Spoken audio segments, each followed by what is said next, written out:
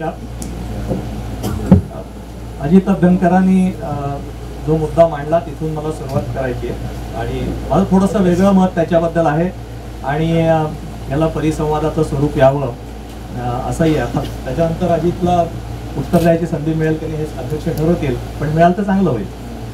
मला ट्रम्पचं विधान त्यांनी जे केलं की त्यांनी रायटिस्ट बॅकलॅश नाही आहे तर सोशल बॅकलॅश आहे. आणि हे फार इंटरेस्टिंग मुद्दा आहे की खऱ्या अर्थाने तिथले जे वंचित आहेत आणि तिथले या ग्लोबलायझेशनच्या प्रक्रियेमुळे ज्यांची ज्यांच्या आर्थिक हितसंबंधांवर कुऱ्हाड कोसळलेली आहे ज्यांच्या नोकऱ्या गेलेल्या आहेत असा वर्ग तिथे भक्कमपणे आज ट्रम्पच्या बाजूने उभा आहे. आणि अजितने म्हटलं की ट्रम्प पुढे ते डब्ल्यू टी ओच्या विरोधी जातील तर खरोखर ट्रम्पना डब्ल्यू टी ओ नकोच आहे. म्हणजे डब्ल्यू टी ओ त्यांची विधानच जर पाहिजे तर डब्ल्यू टी ओ सारखी संस्था जी आंतरराष्ट्रीय पातळीवर व्यापार आणि सेवा क्षेत्र हे खुली कर करण्यासाठीची जी एक नियामक व्यवस्था उभारू पाहते आहे अशा तऱ्हेची व्यवस्थाच त्यांना नको आहे. आणि त्यांच्या राष्ट्रवादामध्ये ती डब्ल्यू टी ओ बसत नाही.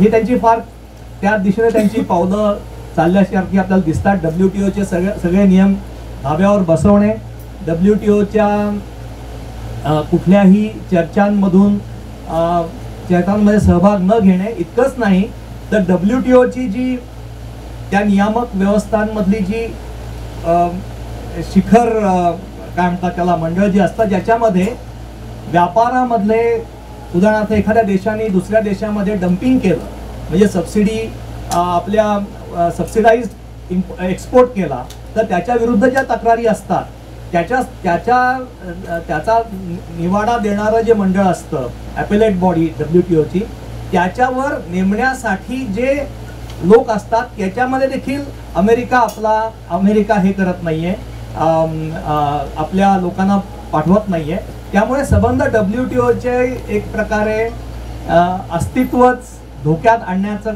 मोठं मोठं काम हे आज ट्रम्प करतायत. आहे पूर्णतः ते डब्ल्यू टी ओच्या विरुद्ध जातील का? किंवा त्यांचा जो प्रतिनिधी आहे ट्रेड रिप्रेझेंटेटिव्ह हा खऱ्या पूर्णतः डब्ल्यू टी ओच्या विरोधी नाही आहे. त्यामुळे त्यांच्यामधला ताण कसा होईल हे हे आपल्याला पाहायला मिळेल. पण जास्त इंटरेस्टिंग अजितने मांडलेला मुद्दा असा आहे की ट्रम्प एकाच वेळेला उजव्या उजवे फॅसिस्ट शक्ती राष्ट्रवादी अशा अमेरिकन सांस्कृतिक राष्ट्रवादाचं प्रतिनिधित्व करतात. अत्यंत संकुचित भूमिका घेतात. तिथल्या लिबरल्सवर हल्ले करतात जसं आपल्याकडे होतं तसं. आणि त्याच वेळेला ते डब्ल्यू टी ओलाही विरोध करतात जे भारतासारख्या विकसनशील देशातील दावे देखील करत असतात. किंवा त्यांची भूमिका देखील डब्ल्यू टी ओकडे संशयाने पाहण्यासारखी होती. तर मला हा जो ताण आहे ना मला त्याच्यावरच बोट ठेवायचं आहे की खरोखर ट्रम्प डब्ल्यू टी ओला जर विरोध करत असेल तर भारतातल्या डाव्यांनी आणि व्यापक अर्थाने मी स्वतःला डावा मानतो. डब्ल्यू टी ओच्या बाजूनी असणं म्हणजे डावं नसणं ही मला मान्य मान्य नाही आहे गोष्ट. किंवा खुल्या व्यापाराच्या बाजूने असणं म्हणजे डावं नसणं हे नसणं हे मला मान्य नाही. जो जो संपत्तीचा इक्विटेबल किंवा डिस्ट्रीब्युशनच्या बाजूनी आहे तो डावा न्याय डिस्ट्रीब्युशनच्या बाजूने तो डावा अशी माझी व्यापक भूमिका असल्यामुळे मी स्वतःला डावा मानतो. तर डब्ल्यू टी ओला जर ट्रम्पही विरोध करत असेल आणि आपणही तशीच विरोधाची भूमिका घेत असू तर आपलं काहीतरी हुकतंय हुकत तर नाही आहे ना हे आपण सर्वांनी पाहायला पाहिजे असं मला वाटतं. मी एका अभियांत्रिकी कॉलेजमध्ये शिकवतो विद्यालयात शिकवतो आणि आता सध्या इंजिनिअरिंगच्या मुलांना अतिशय कमी रोजगार अतिशय कमी आहेत. मिळणारे रोजगार नोकऱ्या ह्या अत्यंत कमी चांग म्हणजे पुण्यात पुण्यातल्या चांगल्या चांगल्या खाजगीला खाजगी म्हणणंही चुकीचं आहे खरं तर सरकारी पैशावरच सगळ्या विद्यालय चालू आहेत. परंतु त्या विद्यालयातल्या मुलांना ज्या नोकऱ्या मिळतात त्या दहा हजार पंधरा हजार रुपये महिना अशा स्वरूपाच्या असतात. अगदी बोटावर मोजणाऱ्या मुलांना जास्त पगाराच्या नोकऱ्या मिळतात. तसा माझा एक विद्यार्थी जो अतिशय हुशार विद्यार्थी हुशार म्हणजे त्याच्या मार्कामध्ये तुम्हाला दिसणार नाही हुशारी पण तो जेव्हा एखादी व्हेकल बनवतो तो ऑल टेरेन व्हेकल्सच्या कॉम्पिटिशनमध्ये भाग घेत असतो प्रत्यक्ष मशीनशी जेव्हा तो खेळत असतो तेव्हा तुम्हाला त्याची हुशारी दिसते त्याची चमक दिसते. आणि त्यामुळे त्याला त्याला नोकरी मिळत नव्हती आणि तो मी जेव्हा तेव्हा भेटलो एक वर्ष होऊन गेलो होतं आणि तो फार अपसेट होता. पण त्यानंतर काही दिवसानंतर तो मला भेटला आणि तो त्याला म्हटलं तू काय करतोस? तर तो मला मला एक खूप इंटरेस्टिंग जॉब मिळाला आहे. मी म्हटलं कुठला जॉब मिळाला? तर तो मला मार्केटिंगचा जॉब मिळाला. आणि मी म्हटलं मार्केटिंग तुला तर तू इतका हार्डकोर टेक्निकल माणूस आहेस तुला मार्केटिंगचा जॉब मिळाल्यावर आनंद का होतो? तर तो मला तो जॉब वेगळ्या प्रकारचा आहे. आणि त्यांनी मला जे सांगितलं ते फार इंटरेस्टिंग होतं. आणि ते आपल्या आजच्या चर्चेशी संबंधित आहे. तो म्हणाला की मी जेव्हा नोकरी शोधत होतो तेव्हा मला एक फोन आला आणि ते म्हणाले की मी अप्लाय केलं मार्केटिंगचा जॉब होता. मी अत्यंत नाखुशीने अप्लाय केलं. आणि मग त्यांचा फोन आला. आणि तो मला की मला त्या फोनवर त्यांची बोलण्याची पद्धत खूप आवडली. खूप अदब होती खूप रिस्पेक्ट होता. आणि मग मी गेलो आणि त्या इंटरव्ह्यूला गेलो. पण इंटरव्ह्यूला गेलो तेव्हा मी पुन्हा खूप निराश झालो. कारण इंटरव्ह्यू इतक्या छोट्याशा फ्लॅटमध्ये होता. म्हणजे आमच्या कॉलेजमध्ये महिंद्रा अँड महिंद्रा सारख्या कंपन्या जेव्हा येतात किंवा त्यांच्याकडे इंटरव्ह्यू होतात तेव्हा जे वातावरण असतं त्याच्यापेक्षा अत्यंत वेगळं वातावरण होतं. फक्त दोघंच जण होते. ते दोघं नवरा बायको आणि एक छोटासा फ्लॅट मग मी फारच माझा डिप्रेस झालो होतो खरं तर. पण मी जेव्हा जेव्हा त्यांच्याशी त्या- मुलाखत माझी सुरू झाली तेव्हा तर मला त्या सांगत गेलं तर जॉब आवडत गेला. आणि ते तेव्हा मला म्हणाले की तू तर टेक्निकली खूप चांगला दिसतोयस त्यांनी प्रश्न विचारले त्याला. पण तुला हा मार्केटिंगचा जॉब का करायचा आहे? पण मार्केटिंगचा जॉब त्याला इतका इंटरेस्टिंग वाटला. याचं कारण असं होतं की तो जॉब असा होता की ज्या नवीन एमर्जिंग टेक्नॉलॉजीज आहेत. चार एमर्जिंग टेक्नॉलॉजीज त्यातली एक ही ड्रायव्हरलेस कार आणि इतरही सोलर आणि या अशा टेक्नॉलॉजीज त्या टेक्नॉलॉजीचा जगभरच्या देशांमधला मार्केट सर्व्हे करणं हे काम ती कंपनी करते. आणि त्यासाठी तुम्हाला फक्त पॅशन पाहिजे. तुमचं इंजिनिअरिंग नॉलेजपेक्षा तुम्हाला त्या विषयात किती इंटरेस्ट आहे आणि ह्याला इंटरेस्ट तर खूप होता या सगळ्या गोष्टीमध्ये. आणि असं काम ते होतं. तर ते एका खोलीत बसून करायचं काम आहे. आणि आज हा मुलगा जगातल्या टॉप्स मोठ्या मोठ्या कंपनीच्या सीईओशी वन टू वन बोल बोलत असतो. आणि हा जो मार्केटिंग रिसर्च आहे तो अत्यंत पर कार्यक्षमतेने करतो. कारण त्याच्यातलं एक वेगळ्या प्रकारचं टॅलेंट इथे उपयोगी पडलं. म्हणजे म्हटलं तर ते टेक्निकल जॉब नाही आहे पण म्हटलं तर आहे. कारण टेक्नॉलॉजी नवीन ज्या टेक्नॉलॉजीज येत आहे की अत्यंत डिसरप्टिव्ह याला अलीकडचा जो शब्द आहे की आहे ती व्यवस्था पूर्णतः मोडणं अगदी मुलगामी प्र- पद्धतीने मोडणं या बाबतीत घडतं. अशा तऱ्हेची जेव्हा ड्रायव्हरलेस कार सारखी टेक्नॉलॉजी येईल तेव्हा अनेक बेकारी येणार. कारण भारताने तर परवानगी दिलेली नाही आहे पण काही देशांनी परवानगी दिलेली आहे. आणि मग हा हा मुलगा जो फक्त बावीस तेवीस वर्षाचा आहे आत्ता हा अशा वेगवेगळ्या देशातल्या सीईओशी लिंकडिन सारख्या माध्यमातून संवाद साधत असतो. आणि हा मार्केट रिसर्च हे करत असतो की कोणत्या देशातली डेटा गोळा करणं वेगवेगळ्या ठिकाणचा वगैरे. त्यामुळे त्याचा जॉब अतिशय इंटरेस्टिंग आणि तो खूप आनंदी आहे. माझा मुद्दा असा की अमेरिकेमध्ये म्हणजे एक दोन गोष्टी आहेत. या उदाहरणात मला सांगायचं असं आहे की एकीकडे प्रचंड डिस्पेअर आहे. म्हणजे खूप निराशा आहे तरुण इंजिनियर्समध्ये की जॉब मिळत नाही आहेत मिळणारे जॉब अतिशय असे कमी पैशाचे आहेत. पण दुसरीकडे वेगळ्या प्रकारच्या स्किल्सची गरज आहे ती दुर्दैवाने आपली शिक्षण संस्था देत नाहीये. पण ज्यांच्याकडे ते स्किल्स आहेत त्यांना मात्र या जागतिकीकरणाचा मोठा फायदा मिळतोय. त्यामुळे एकाच बाजू हे जे हे जे कॉम्प्लेक्स आहे अमेरिकेमध्ये हे वेगळ्या प्रकारचं आहे. अमेरिकेमधला जो अजितने सांगितलेला जो व्हाईट मिडल क्लास जो आहे तो आज जागतिकीकरणामुळे त्याला आशा दिसत नाही. जागतिकीकरण त्याच्यासाठी काही देणार नाही पण तशी परिस्थिती भारतामध्ये नाही आहे भारतामधल्या मध्यम वर्गाला जागतिकीकरणाकडून अजूनही अपेक्षा आहे. जागतिकीकरणामुळे आमचे नोकऱ्या जात आहेत.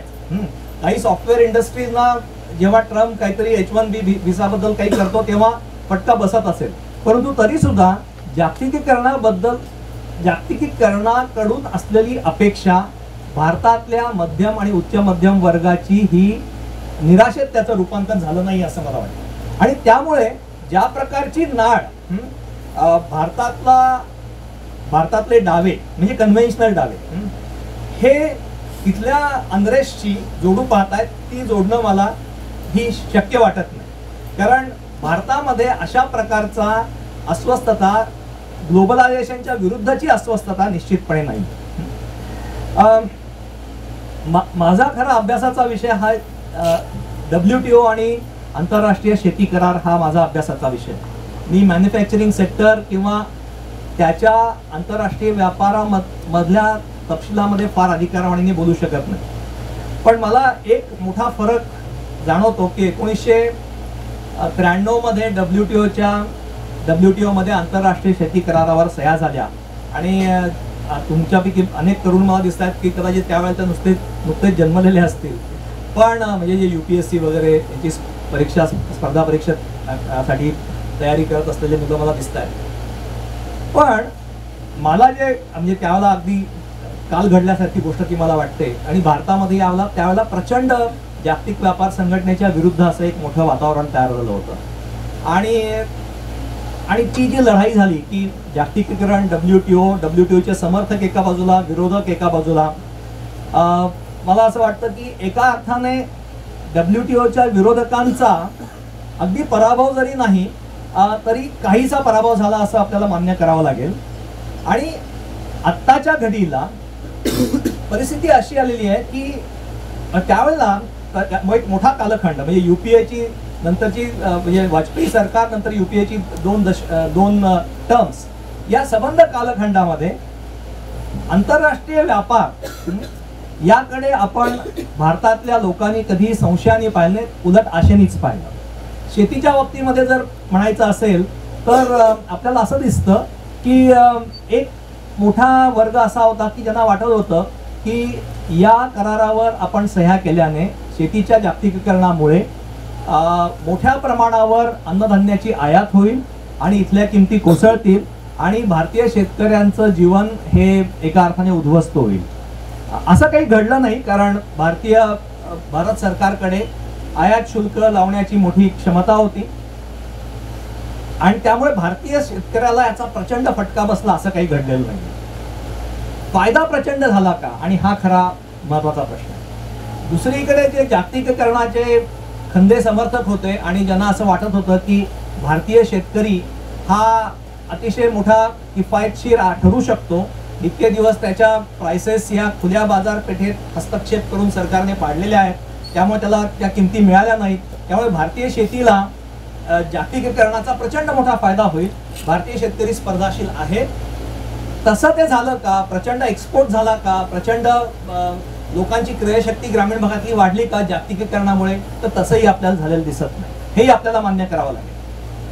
तर ते न होण्याचं कारण आणि इथे मी आणि अजित कदाचित एकमेका एकमेकाबरोबर असू ते न होण्याचं कारण असं आहे की त्यावेळेला डब्ल्यू टी ओच्या समर्थकांनी एक गोष्ट ध्यानात घेतलेली नव्हती की आंतरराष्ट्रीय बाजारपेठेतील भाव हे कमालीचे त्याच्यामध्ये कमालीचे चढ उतार असतात. ते अत्यंत तीव्र गतीने वाढतात अत्यंत तीव्र गतीने कोसळतात. आणि असं जेव्हा असतं तेव्हा अशा कमालीच्या तीव्र चढ उताराला भारतीय शेतकरी हा प्रतिसाद देऊ शकत नाही तो विथस्टँड करू शकत नाही. आणि नेमकं आपल्याला हेच पाहायला पाहायला मिळतं. की आंतरराष्ट्रीय बाजारामध्ये भाव चढतात आणि इतके खाडकन खाली येतात की जेव्हा दोन वर्षापूर्वीच्या भावाच्या निम्म्याहूनही अधिक कमी कमी भावाला आपला सोयाबीन विकावा लागतो शेतकऱ्यांना. आणि म्हणजे भारतीय शेतकरी हा जागतिक जागतिकीकरणाशी जोडला गेलेलाच आहे. म्हणजे भारत सरकारची क्षमता आहे. इम्पोर्ट्स थांबवण्याची ही क्षमता निश्चित आहे. परंतु असा असून देखील हा फटका भारतीय शेतकऱ्याला मिळतो आणि काही वेळेला फायदा देखील होतो. पण ज्या अर्थाचा आशावाद या जागतिकीकरणामध्ये आशावाद यांनी पाहिला होता. तसा आशावादी मात्र हे धर झालेलं दिसत नाही.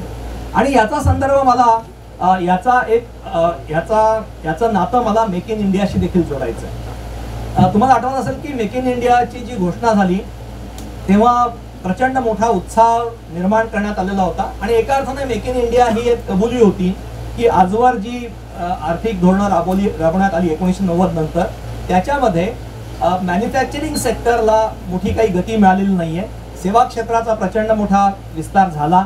त्यांचा आर्थिक वृद्धी दर देखील त्या अजून आज साठ टक्के एकंदर देशाची संपत्ती त्या क्षेत्रात तयार होते. आणि त्यातला वरचा जो थर आहे यांना प्रचंड फायदा झाला. परंतु मॅन्युफॅक्चरिंग सेक्टरमध्ये खऱ्या अर्थाने अकुशल क्षेत्रातील लोकांना रोजगार मिळू शकतो. त्या क्षेत्राचा मात्र विकास दर हा हवा तेवढा वाढला नाही. आणि त्यामुळे मेक इन इंडिया त्याच्या आधी मनमोहन सिंगांच्या काळात देखील ही जाणीव जमायलाच आलेली होती आणि त्यांनी देखील त्या दिवशी त्या घोषणा दिल्या. परंतु मो- नरेंद्र मोदींनी जे पॅकेजिंग केलं आणि मोठ्या प्रमाणावर उत्साह उत्साहदायक अशी ती घोषणा होती. त्यानंतर मला वाटतं काही महिन्यांमध्ये किंवा एखाद्या वर्षानंतर कारण मेक इन इंडिया घोषणेमध्ये काय होतं मेक इन जसं चायनामध्ये चीनने जसं केलं की भांडवल कुठूनही यावं आणि उत्पादन मात्र चीनमध्ये व्हावं आणि ग्राहक हा जगात कुठलाही असावा.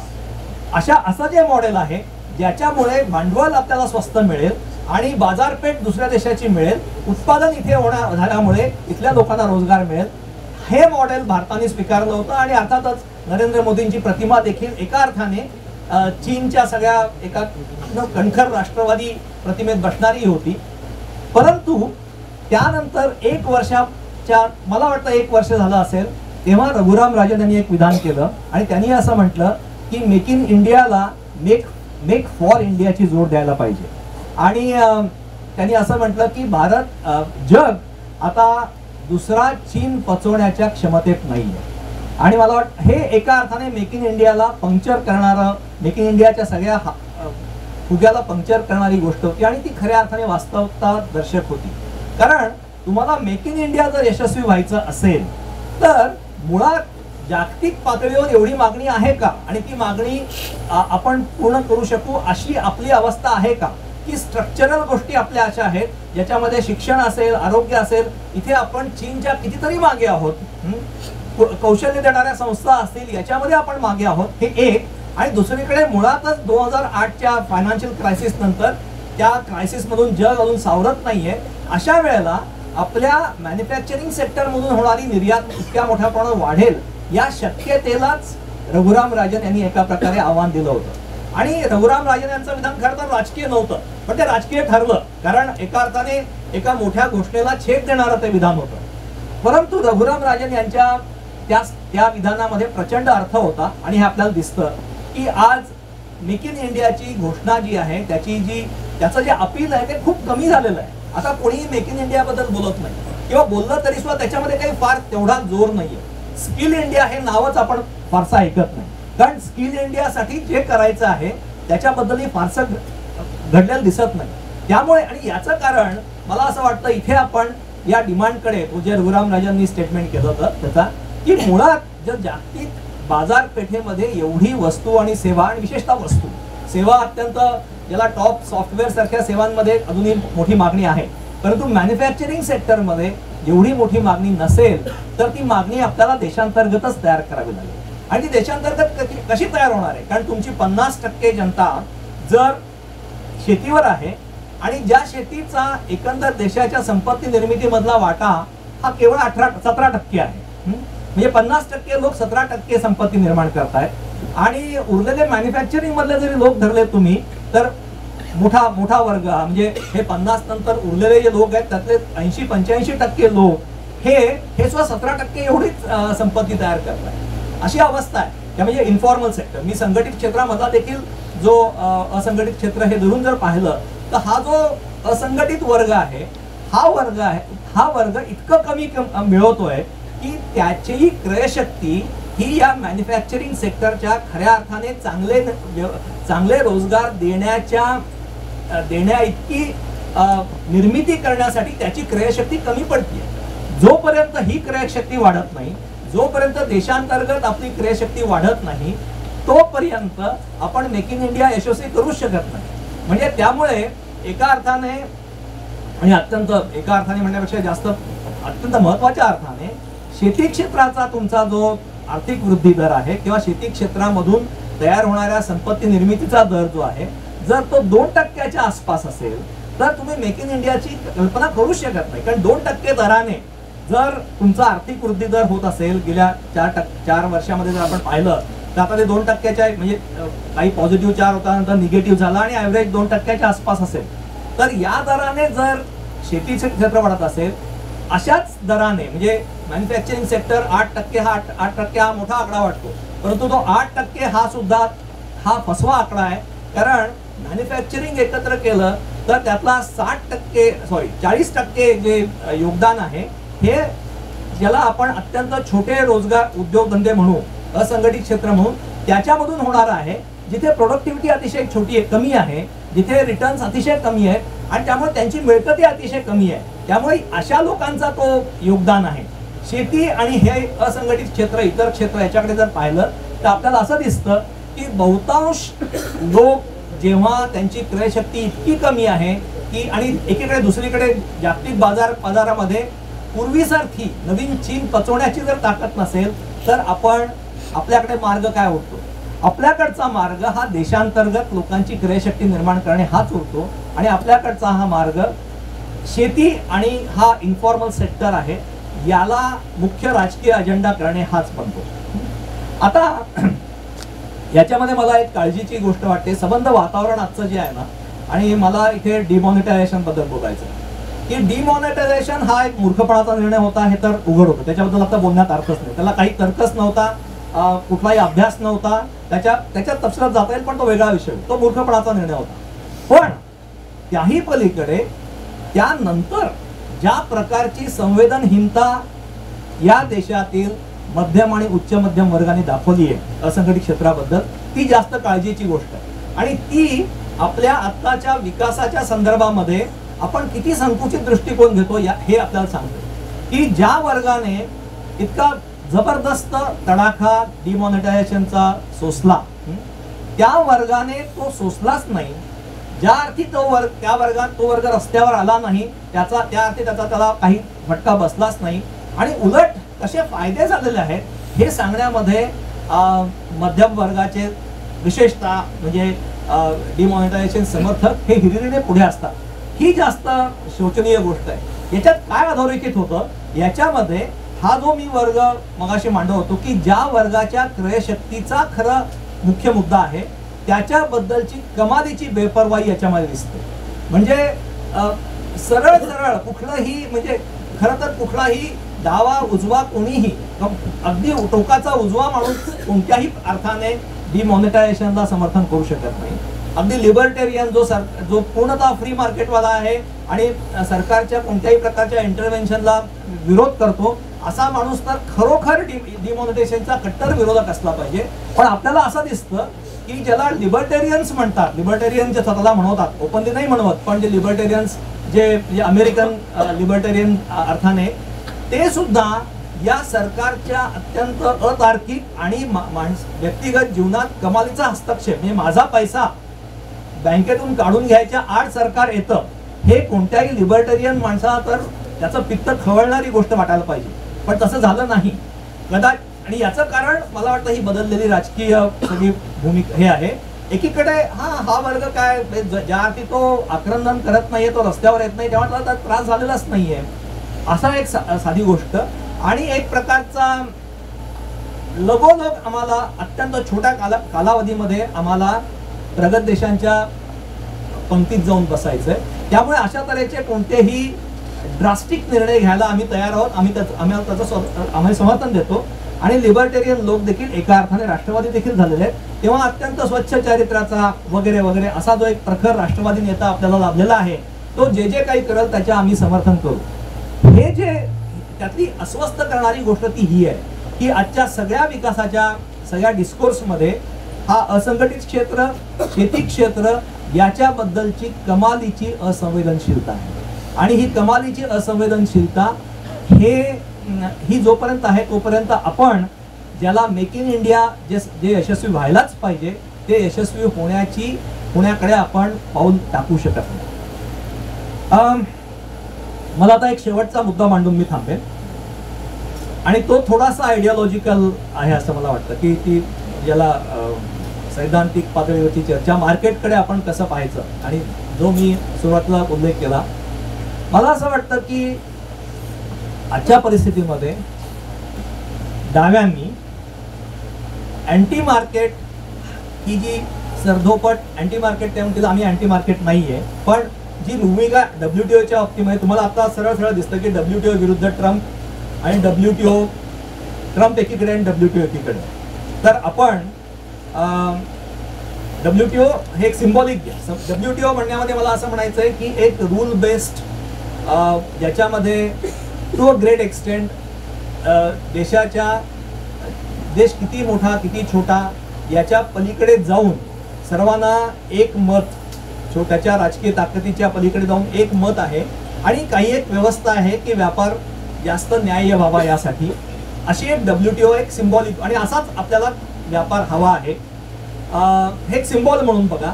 आणि दुसरीकडे पूर्णत राष्ट्रवादी फॅसिस्ट आणि डब्ल्यू टी ओ विरोधक असा ट्रम्प जो हे खरं आहे. अजित म्हणतो असं की तो लोकांच्या भावनांना हात घालतो आहे हे खरं आहे. परंतु लोकांच्या भावनांना लोक त्याच्या बाजूनी आहेत हे आपण त्याच्या बाजूने जाण्यासाठी पुरेसं कारण ठरवू नये कारण आपण आपल्या नाही. नाही मला. मी- तू माझ्या माझे पाच मिनिटं घे ना तू तर नाही मला मला एक काळजी आहे मला हे मुद्दा असा मांडायचा जो व्यापार की भारतासाठी खुला व्यापार भारतासाठी खऱ्या अर्थाने क्रोनी कॅपिटलिझमला छेद देणारी अशा तऱ्हेची व्यापार व्यवस्था अर्थव्यवस्था हे आपलं ध्येय असलं पाहिजे. भारतासाठी संपत्तीचं वाटप हा महत्त्वाचा अजेंडा बसला पाहिजे. म्हणजे याच्या पुढच्या काळामध्ये इतके दिवस आपण काय केलं की एकोणीसशे नव्वद नंतरच्या काला कालखंड नंतर तीस वर्षी झाली असतील तो या काळात आपण वाटपाचा मुद्दा चर्चे म्हणजे विषमता निर्मूलन हा मुद्दा अजेंड्यावरून गेला. आणि तो एक सिस्टमॅटिक हे होता की भाकरी तुमचा भाकरीचा आकारच एवढा छोटा आहे. तुम्ही भाकरी वाटणार कशी? तेव्हा डा- कम्युनिस्टांवर टीका की तुम्ही मुळात मुळातच तुमची हातातच काही नाही त्याचं पुन्हा वाटप करणार त्याला काय अर्थ आहे? मुळात आधी भाकरीचा आकार तरी वाढू द्या. हे खरं आहे. परंतु या पुढच्या कालखंडामध्ये भाकरीचा आकार वाढणे आणि भाकरीचं वाटपही करणे हे आपल्याला समान वजन देऊन कार्यक्रम आखला पाहिजे. कारण भाकरीचा वाटप करण्याच्या बद्दल जे आग्रही भूमिका घेतात त्यांची टिंगल करणं हे सोडलं पाहिजे आणि त्यांनी आपली टिंगल होऊ न देणे अशा भूमिका घेतल्या पाहिजे. म्हणून मी म्हटलं की तो जो माझ्या समोरचा विद्यार्थी होता त्याला जर थेटपणे दिसतंय की मी ग्लोबलायझेशनचा त्याला फायदा होतोय तर मी ग्लोबलायझेशनच्या विरुद्ध बोलल्याने तो माझ्या माझ्याकडे येणार नाही. आणि त्याला तर दिसत नाहीये तसं तितकं तुम्हाला जे दिसतंय चित्र भयावह ग्लोबलायझेशनचं तसं त्याला वाटत नाहीये. पण दुसरीकडे आपण हे निश्चित म्हणू शकतो की हा हे जे असंघटित क्षेत्र आहे हा जो आपला शेती आहे उदाहरणार्थ शेतीच्या बाबतीत म्हणा म्हणालो आपण तर ग्लोबलायझेशन हे आपल्याला संधी देणार नाहीये का? निश्चित देणार आहे.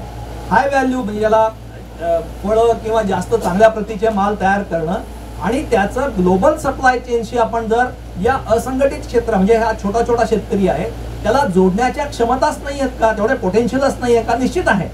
त्याचं प्रारूप आपल्याकडे नाहीये. ते शोधावं लागेल.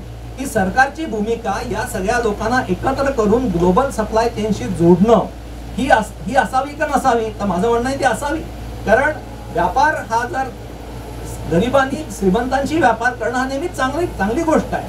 त्यामुळे या ठिकाणी आपण जास्त प्रॅग्मॅटिक भूमिका घ्यावी आणि ती आयडिओलॉजिकल भूमिका असावी. व्यापार खुल्या म्हणजे हे हे अनेक पातळीवर आपल्याला बोलता येईल. उदाहरणार्थ मी मगाचं पहिलं उदाहरण मी शेवटच्या मुद्द्याकडे येतोय. पहिल्या उदाहरणामध्ये जर तुम्ही जर पाहिलं तर तुम्हाला असं दिसेल की एक टेक्नॉलॉजी अत्यंत वेगात ज्याला डिसरप्टिव्ह टेक्नॉलॉजी देत आहेत आपल्याला म्हणजे इंजिनिअरिंग आपण आम्ही म्हणतो की इंजिनिअरिंग कॉलेजेसमध्ये आम्ही काय शिकवतो त्याला खरंच मागणी आहे का? खरं सांगायचं तर कोणालाच आता कळे नसं आलेलं आहे की काय उद्या कुठली टेक्नॉलॉजी येणार आहे? आणि उद्या कोणत्या प्रकारचे स्किल्स आम्हाला विद्यार्थ्यांना द्यायचे हे आम्हाला खरंच माहीत नाही आणि त्या माहिती करून घेण्याची क्षमताही आम्ही दाखवत नाही ती गोष्ट वेगळी.